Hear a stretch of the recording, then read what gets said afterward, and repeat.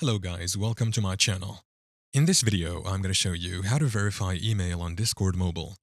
Verifying your email adds an extra layer of security to your Discord account and also allows you to access certain features like joining servers with higher security settings. Let's jump right into it. First things first, open up the Discord app on your smartphone and log in to your account if you haven't already done so. Once you're logged in, tap on the You tab in the bottom right corner of the screen to access your profile. Next, tap on the Settings gear icon in the top right corner to open the Settings menu. Within the Settings menu, tap on Accounts. If you have not added your email to Discord, tap on the Add Email button at the top of the Accounts page. Now enter your email and click on the Change Email button.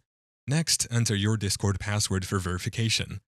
Discord will then send an email to the address associated with your account. Go to your email inbox, find the email from Discord and open it. Inside of the email, you'll see a button that says Verify Email. Tap on that button, and you're all set. Once the verification is complete, tap on Continue to Discord. And that's it. You've successfully verified your email on Discord Mobile. Now you can enjoy the added security and access to more features on your Discord account. Thank you for watching.